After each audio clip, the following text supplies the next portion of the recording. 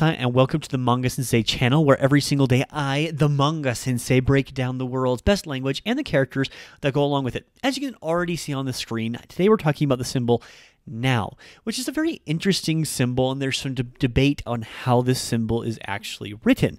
But before we get into that, let's talk about how we read it.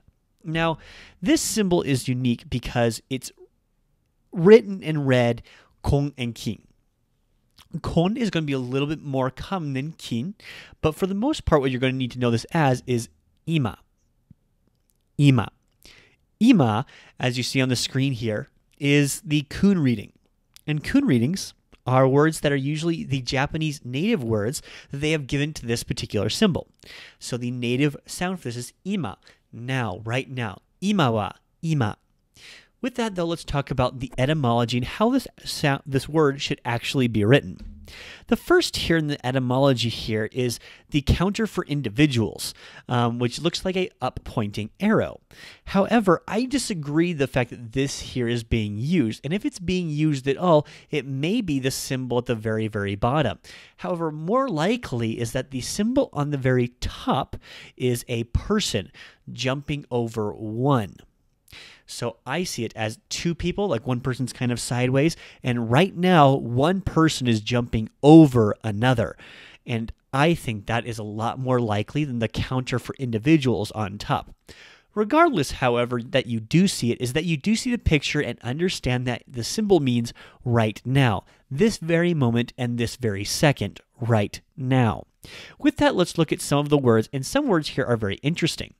The first uh, words of these words, now there are some common words, there are also some jukugo. Jukugo are words that are happen when two kanji are combined. This is often where you see the on readings. The first one that I want you to point out is kyo. You now know both of these symbols. However, this is a unique word. This word and the second word, konnichiwa, are words that have the Japanese have taken from the language and put onto this compa- this compound of symbols. So when you see now and the word beside it for day or sun, what would that mean? That would mean, of course, today. This now's day. Kyo. Kyo. Kyo. 今日はいい日ですね。いい日ですね。天気がすごいいいですね。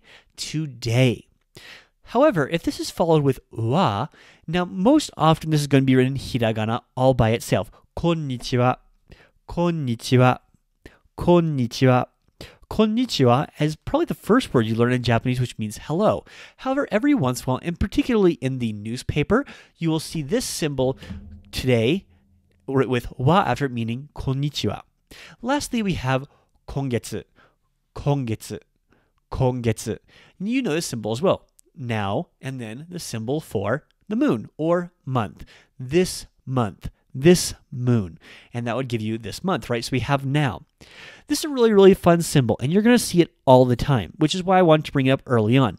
As we continue talking about the JLPTN5 kanji, make sure to leave comments down below of what you think this symbol is made of.